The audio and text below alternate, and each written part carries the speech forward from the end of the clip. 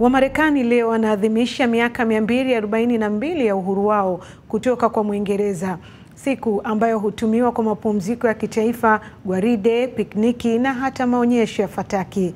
Watu wengi wanatumia siku hii kukaa na familia zao na wengine hufika jijini Washington DC kutembea na kushuhudia matukio mbalimbali mbali ya sherehe hii. Rais wa Marekani Donald Trump na mkewe Melania wamewakaribisha familia za wanajeshi katika ikulu White House kwa ajili ya maadhimisho haya. Katika viwanja vya bunge la Washington DC kutakuwa na burudani za tamasha la muziki kutoka kwa wasanii mbalimbali.